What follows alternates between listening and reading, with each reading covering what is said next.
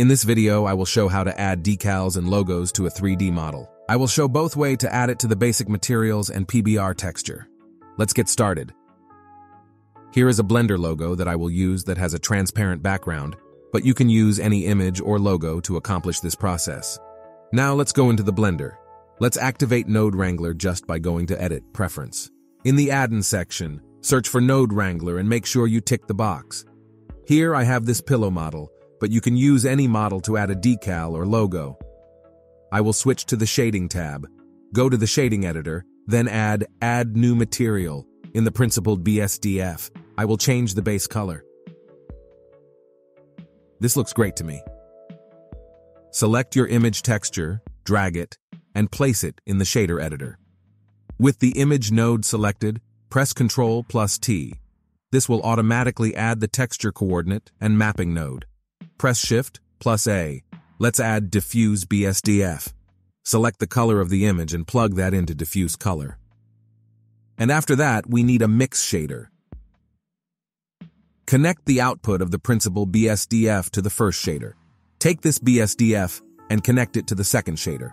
I will take this shader and connect it to the surface of the material output.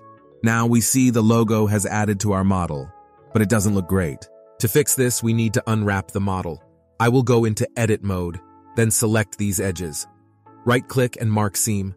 I will change this window to the UV editor.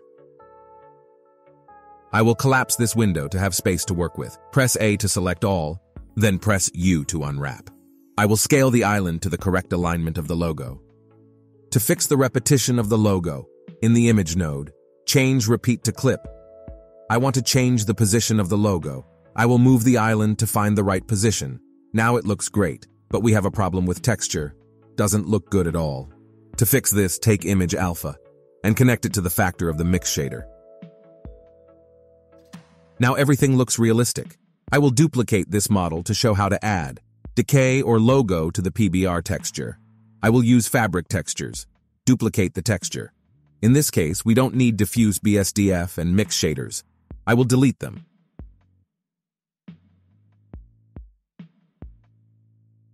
Take BSDF, then connect it to the surface of the material output. Now I will add the PBR texture. With Principled BSDF selected, press Ctrl plus Shift plus T. I will select all the PBR textures, then add the principled texture setup.